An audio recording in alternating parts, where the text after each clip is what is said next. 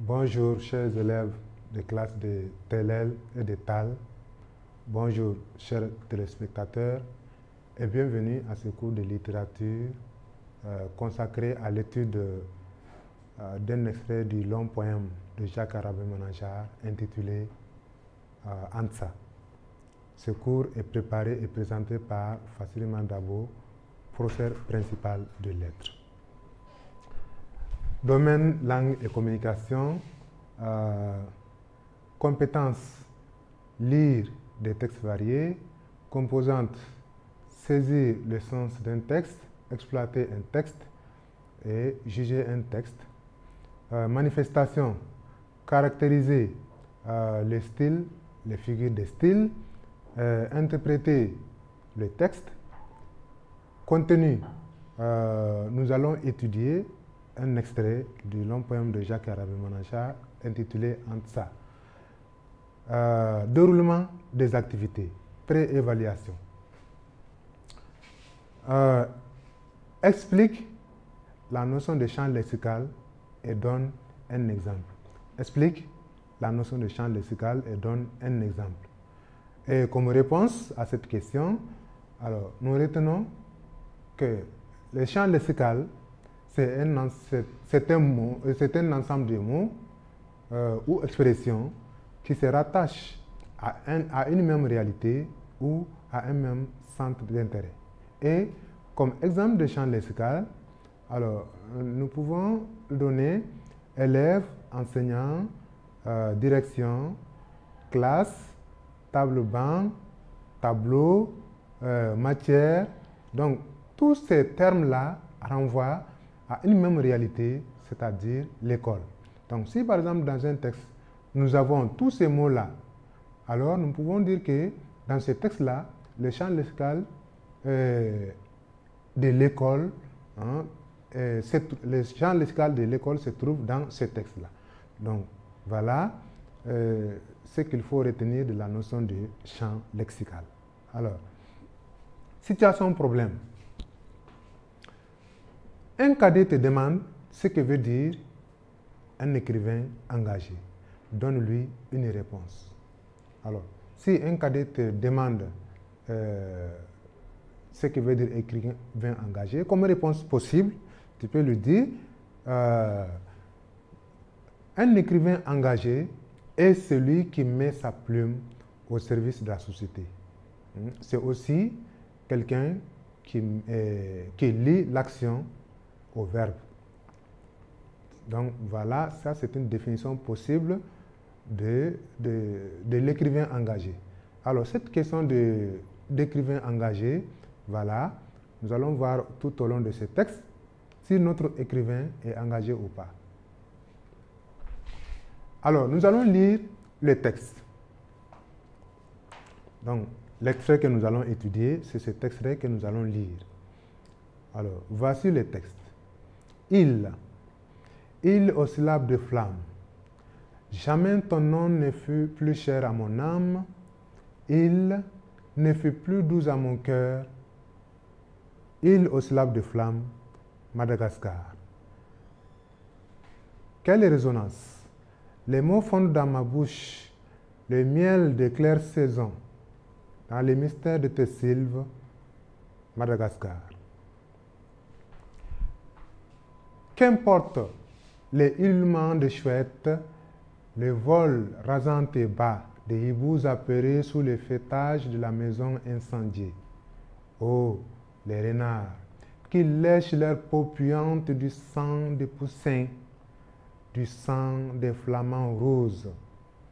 Nous autres, hallucinés de l'azur, nous scriptons éperdument tout l'infini de bleu de la Madagascar. Un mot, il. Rien qu'un mot. Le mot qui coupe du silence. Mots, la corde serait à ton cou. Les mots qui auront les bandelettes du cadavre transfiguré. Jacques Arabé Manachar, Antsa, Paris, Présence africaine, 1956. Donc, voici le texte qui fera l'objet de notre étude. Et nous partons déjà avec euh, les activités, avec la première activité consacrée à l'explication du patriotisme de l'auteur. Et voici les consignes pour cette, activité. Alors, comme première consigne, euh, il s'agit euh, de relever les marques, c'est-à-dire les indices de la première personne et de la deuxième personne dans le texte en précisant leurs liens. C'est-à-dire que dans ce texte-là, tu vas chercher les mots euh, qui renvoient à la première personne du singulier et les mots qui renvoient à la deuxième personne du singulier. Et euh, tu préciseras ensuite le lien qui existe entre ces deux personnes-là, c'est-à-dire la première personne et la deuxième personne. Donc voilà, c'est la première consigne que tu dois traiter ici. Alors, deuxième consigne, euh, précise les signes de ponctuation les plus employés et commente leur emploi. Précise les signes de ponctuation euh, les plus employés dans ce texte et commente leur emploi. Donc, ça, c'est la deuxième consigne euh, que tu dois traiter. Alors, il y a une troisième consigne, recense quelques figures de style euh, de la répétition dans le texte et interprète leur effet. C'est-à-dire les figures de style euh, que tu auras trouvées, tu dois donner quel effet ces figures de style donnent dans le texte. Quel effet ces figures de style produisent dans le texte. Donc voilà euh, les consignes euh, pour cette première activité. Alors, comme synthèse, comme synthèse à cette activité, vous avez, nous avons euh, comme indice de la première personne du singulier, nous avons d'abord mon que l'on trouve dans l'expression mon âme. Nous avons mon également dans l'expression mon cœur et nous avons euh, ma dans l'expression ma, ma bouche. Et ces trois mots renvoient à la première personne du singulier. Et ils sont associés euh, à d'autres termes. Euh, ici, cher, doux et dents.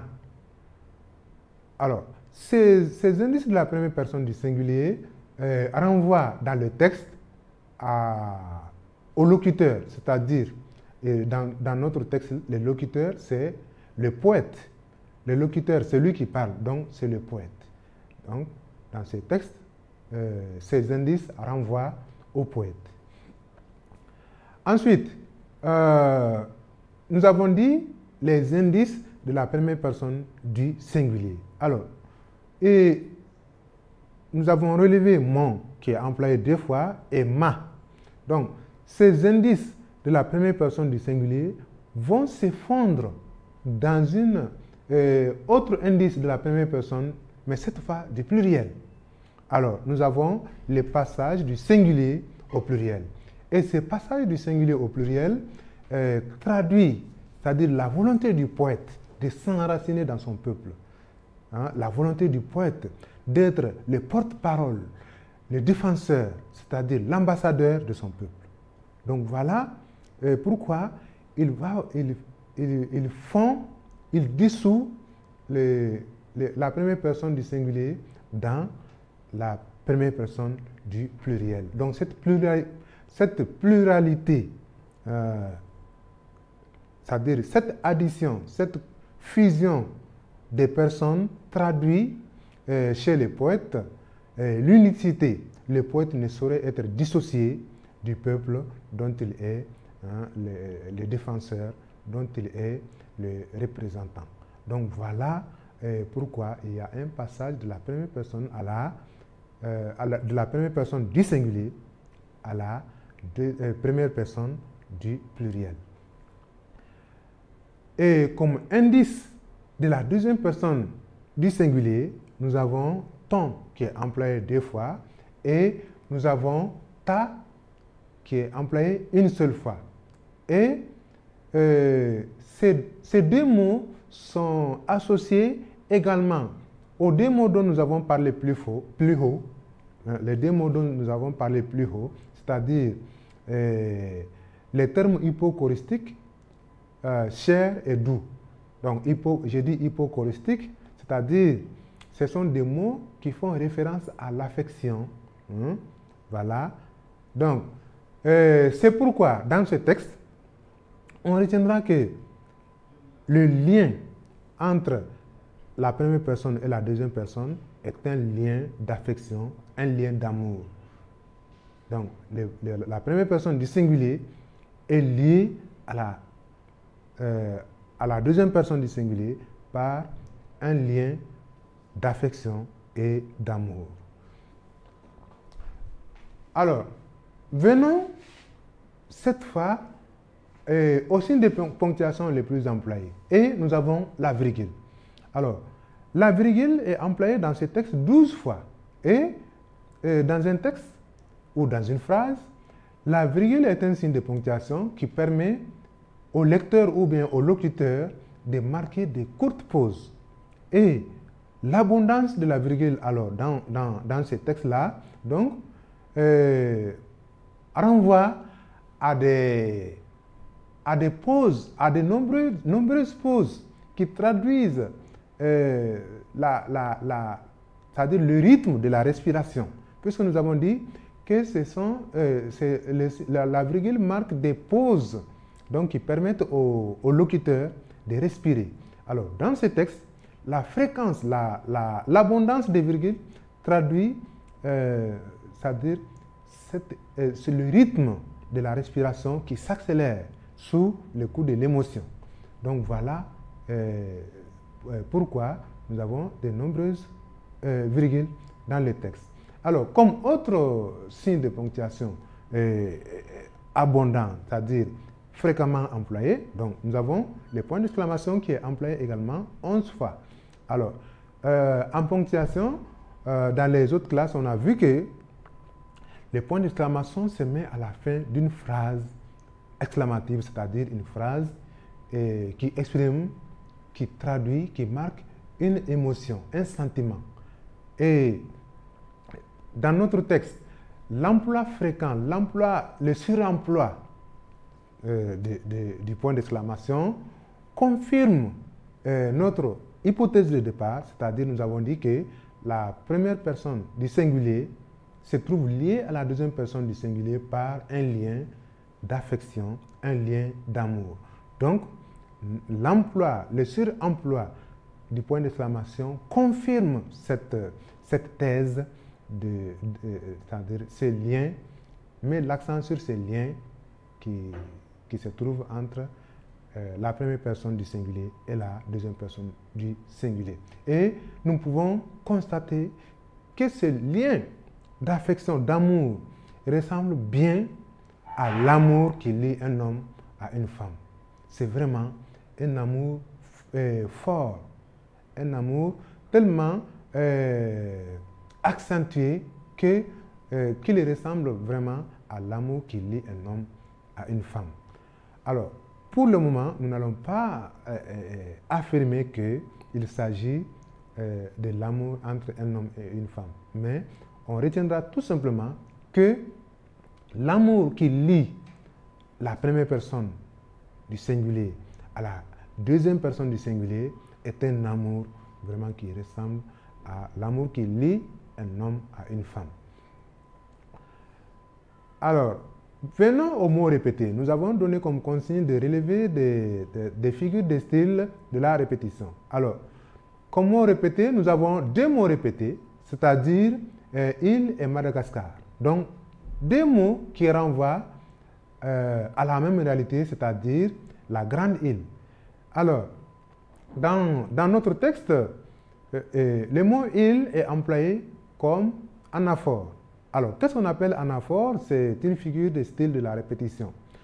Alors, c'est le fait que l'auteur emploie par exprès, donc, euh, un mot ou une expression pour donner à son texte une certaine musicalité, mais aussi pour attirer l'attention du lecteur sur une idée donnée, sur une réalité donnée. Alors, dans notre texte, l'auteur emploie euh, de façon répétée, intentionnellement, pour attirer l'attention euh, du lecteur sur la cause qu'il défend, la cause de la grande île.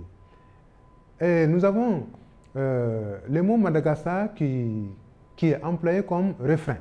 Alors, qu'est-ce qu'un refrain?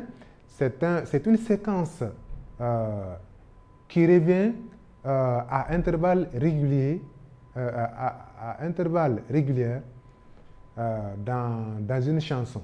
Alors, dans, dans, un chant, entre les couplets, donc la partie que, que l'on reprend par exprès, donc c'est ce qu'on appelle le refrain. Et dans ce texte, donc, le mot Madagascar est employé comme un refrain. Alors, en ce moment, le fait d'employer euh, ces deux figures de style, c'est-à-dire le refrain, l'anaphore et le refrain, euh, montre chez l'auteur sa volonté de, euh, c'est-à-dire la recherche de la sonorité, sa volonté de faire de son poème un chant, un hymne. Donc voilà l'interprétation que l'on peut faire de ces figures de style. Parce qu'on a dit comme consigne euh, d'expliquer, euh, de, commenter l'effet de ces figures de style. Donc voilà, c'est euh, l'effet que nous dégage, dégageons de ces deux figures de style de la répétition. Alors, pour faire maintenant le, le, le, résumé de toute la synthèse de cette euh, première activité, alors on retiendra que la première personne dans, ce texte s'adresse à la seconde comme un homme amoureux s'adresse à sa bien-aimée. Et euh, on voit cela à travers l'emploi de termes comme flamme, chair, cœur, âme, doux, etc. Cependant, le couple, le couple de mots euh, île et Madagascar euh, prouve à suffisance qu'il s'agit en réalité d'un poète hein, qui magnifie sa patrie. Donc ce n'est pas l'amour euh, d'un homme pour une femme, mais plutôt euh, le poète qui magnifie sa patrie. Hein. Donc il traduit son amour pour sa patrie. Hein, à tel point que alors son texte euh, ressemble à un chant et un chant dominé par euh, la sonorité et l'harmonie.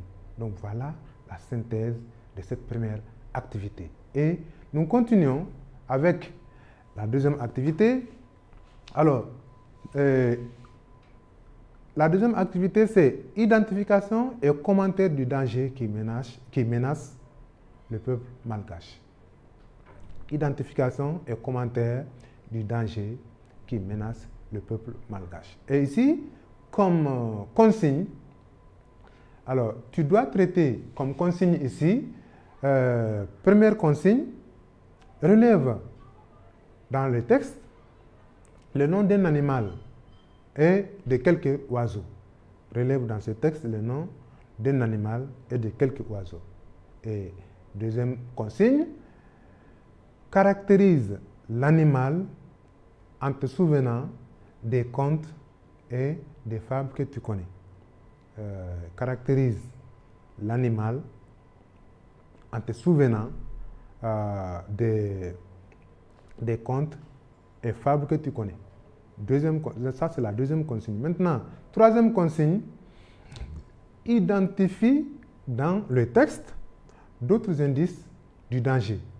Identifie dans le texte d'autres euh, indices du danger. Donc voilà les trois consignes qui, euh, de cette deuxième activité que, euh, que tu dois traiter ici. Alors, comme synthèse de cette activité, nous avons comme nom d'animal ici le renard. Le renard est un animal carnivore, un animal trompeur, calculateurs, malins. Et nous les rencontrons, par exemple, dans les fables de Jean de La Fontaine. Nous les rencontrons dans les renards et les boucs. Et nous les rencontrons également dans les corbeaux et les renards. Donc, cet animal-là représente dans notre texte les colonisateurs. Donc, les colonisateurs euh, du peuple malgache. Et comme nom d'oiseaux, nous avons les chouettes et les hiboux. Les chouettes et les hiboux dans la culture malgache, mais aussi dans la plupart des cultures africaines. Euh, ces oiseaux euh, augurent, c'est-à-dire se présagent le malheur. Donc ce sont des oiseaux euh, annonciateurs des malheurs. Alors, l'auteur les emploie dans les textes pour évoquer alors euh, les malheurs euh, qui, qui tombent sur le peuple malgache, donc, c'est-à-dire la colonisation. Donc, les malheurs dont il s'agit, c'est la colonisation. Et comme autre nom d'oiseau, nous avons les flamants roses et les poussins. Donc, ici, ces deux oiseaux sont des types euh, d'oiseaux inoffensifs. Des oiseaux inoffensifs. Et dans notre texte, ces oiseaux représentent le peuple innocent, inoffensif, sans défense, donc qui se trouve à la merci de l'oppresseur, à la merci de, voilà, de l'oppresseur, du colonisateur. Et euh, voilà. Autre indice du danger, nous avons euh, l'expression corde serrée. Donc, corde serrée, dans cette expression, euh, nous, nous, pensons au manque de liberté, la corde serrée au cou. Donc, une façon d'asservir, une façon d'apprivoiser. Voilà. Donc, pour apprivoiser un animal, on met la corde au cou. Donc, cela nous, euh, nous fait penser à, à cet asservissement voilà, euh, du peuple malgache, à l'étouffement aussi, l'étouffement, et surtout la pendaison, donc l'exécution d'un condamné à mort, donc euh, par pendaison. Donc la corde serrée au cou nous fait également penser à cette réalité. Et voilà, autre indice euh, du malheur dans ce texte, autre indice du danger, c'est le sang. Oui, le sang euh, qui renvoie, qui nous fait penser à la blessure, la blessure physique, mais aussi euh, morale. Donc, ici, il s'agit également du sang des innocents et qui, qui, qui fait allusion aux assassinats au sein du peuple malgache. Comme autre indice, cette fois plus parlant, nous avons cadavre. Le terme cadavre euh, est vraiment plus parlant que les autres parce qu'il fait clairement allusion euh, au massacre lors des rébellions malgaches. Donc, euh, cadavre fait vraiment plus clairement allusion au danger que euh, la plupart des autres indices. Nous avons la maison incendiée. Donc la maison incendiée, là aussi, c'est vraiment clair. En fait, tout est clair, mais voilà. Euh, maison incendiée nous, nous, fait penser aux dégâts matériels. Si l'incendie euh, tombe sur vous, alors c'est pour faire vraiment, c'est pour causer des dégâts matériels. Hein? et pour, vous, pour faire de vous un sans-abri. Donc voilà euh, quelques indices du danger que nous pouvons relever, voilà, en plus des noms d'oiseaux et d'animaux. Alors, pour maintenant résumer, euh, cette deuxième activité, alors, nous retenons que les dangers auxquels le peuple malgache est exposé c'est celui de la colonisation.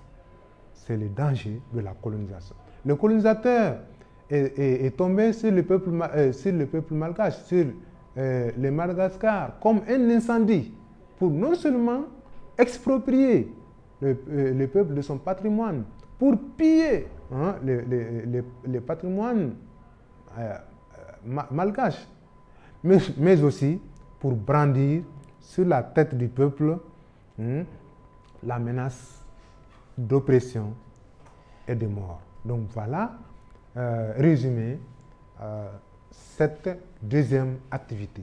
Et maintenant, nous allons passer à la troisième activité consacrée à l'explication de l'optimisme de l'auteur.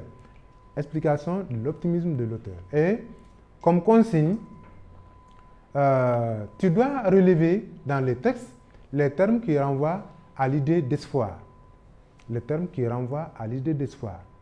Et euh, comme synthèse, comme synthèse de cette activité, alors, il y a comme terme qui renvoie à l'idée d'espoir le terme auréolé. Auréolé qui, qui, nous fait penser à vraiment à la gloire, hein, à la magnificence. Coupe, euh, coupe, ça couper les bandelettes du cadavre, nous fait penser à la résurrection, à la renaissance. Donc, un terme d'espoir.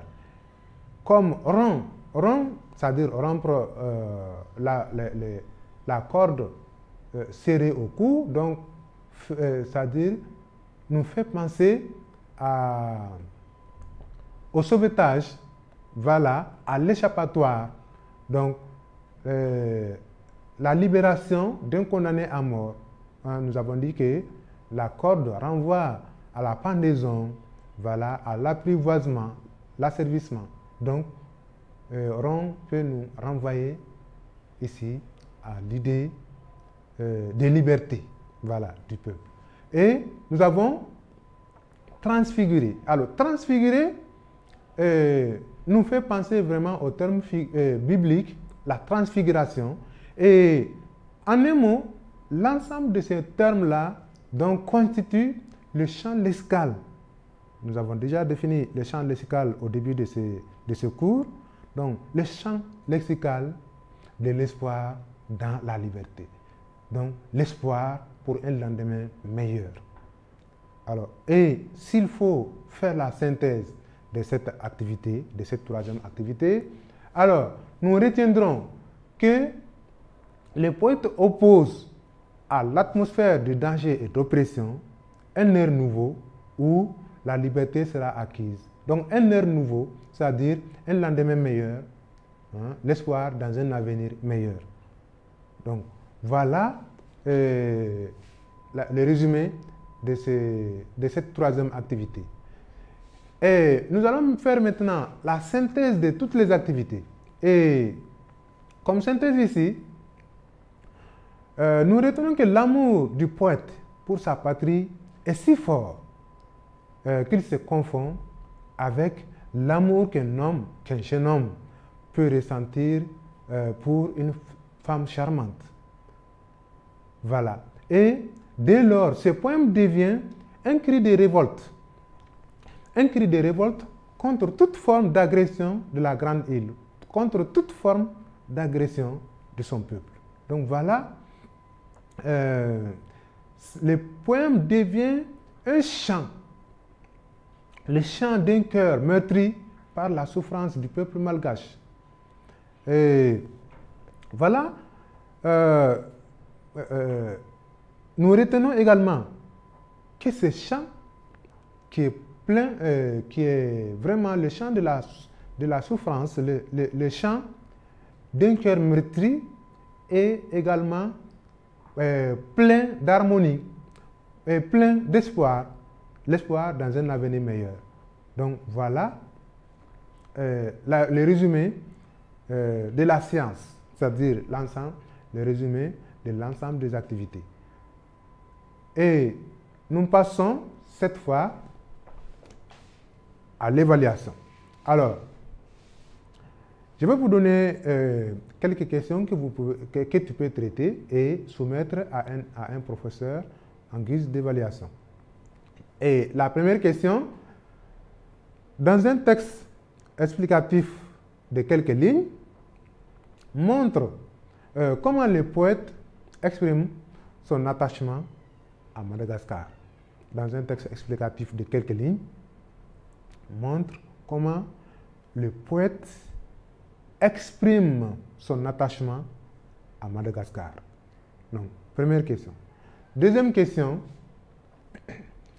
euh, montre dans un texte cette fois argumentatif euh, que le poète garde vraiment espoir dans un avenir meilleur. Donc, montre dans un texte argumentatif que le poète garde espoir dans un avenir meilleur. Donc voilà deux questions que tu peux essayer de traiter et euh, soumettre à un professeur, voilà, en guise d'évaluation. Si tu as compris ce cours, voilà. Et on va faire un enrichissement. Et comme enrichissement,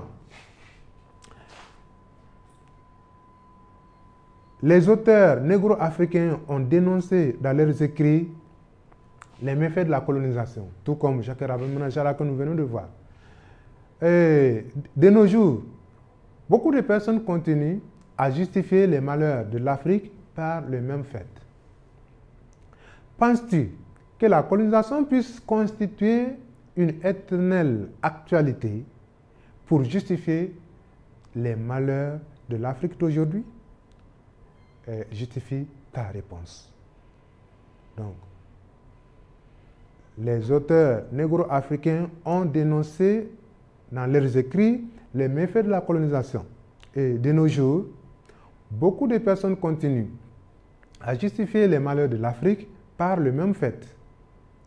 Penses-tu, toi, penses-tu que euh, la colonisation puisse constituer une éternelle actualité euh, pour justifier les malheurs de l'Afrique d'aujourd'hui?